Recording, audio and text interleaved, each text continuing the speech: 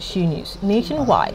Chief of Defense Staff General Christopher Musa has issued a stern warning to protesters, declaring that the armed forces are ready to confront all threats to the Nigerian state.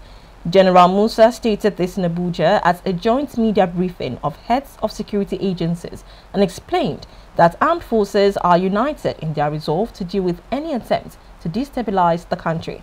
Our correspondent Funmilola Adeyemi has details. Chief of Defense Staff General Christopher Musa and heads of security agencies converge on the conference hall of the Defense Headquarters for the much needed update on happenings in the country. After a welcome remark by the Chief of Defense Staff, the Inspector General of Police IGP Egbetokun ampered on protesters flying foreign flags. I want to use this opportunity to warn our youths to desist from accepting foreign flags from agents of destabilization it is very, very implicating for them to be seen with flags of other countries while on protest. Service chief made their stand known while pledging their commitment to safeguarding nation's democracy.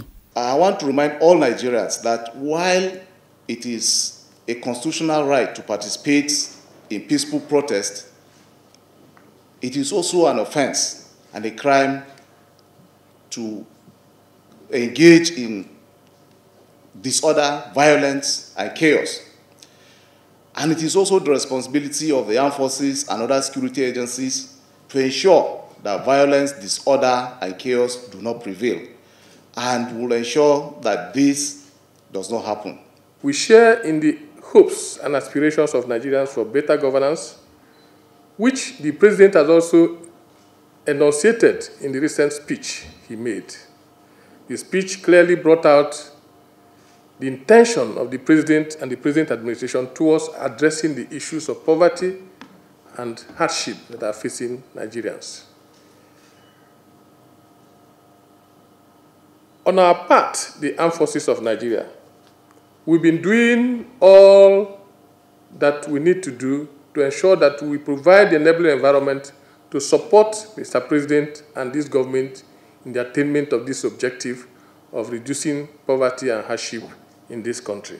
I want to, on behalf of the officers and soldiers of the Nigerian Army, state unequivocally that the Nigerian Army stand assured in defense of our democracy, of our peace of our harmony. And we are not going to shift ground on that. On our part, Controller General of Nigeria Immigration Service, CG Kemi Nandap, explained that diaspora sponsors of the protests are being monitored. Some of these um, sponsors, some of these people who are actually in diaspora, we have a number of them who are actually instigating this uh, mayhem that we're seeing right now what we've done is we've had them on our watch list and they've been watch listed. We have them on our radars and uh, we're making sure that any attempt they make to come into the country will notify the, the, necessary authority. And we're working closely, of course, with the NIA and uh, DSS, of course, and um, the NSA's office, so that all those we have in diaspora that are actually trying to subvert the authority of this nation, we are they are in our radars. We have them watchlisted. And uh, any attempt they make to come into the country will be notified and um, will also know what to do. Chief of Defense Staff General Musa then read the riot out to those taking advantage of the protest. We are only after those that are against the state, not those that are innocent. So I want to make that very clear. We'll continue to work together as a team to support Mr. President in achieving his mandate of peace and tranquility in our dear country, Nigeria. Although normalcy appears to have been restored in many parts of the country, security chiefs are leaving nothing to chance. Funmilola Adeyemi, ADBN News.